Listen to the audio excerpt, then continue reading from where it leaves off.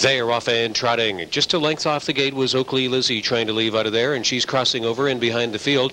Designable has made it herself known early. Armbro Amaze is out best in between fillies. No Mediatris along the inside. Snazzy Millie and North to Alaska will race up into the top five. Six fillies back for Zubumafu. She to the flank of Clarice Marie floated up eighth on the outside. Wanna be a millionaire has left back there in ninth, and Oakley Lizzie is second to last, and Shibumi is the early trailer.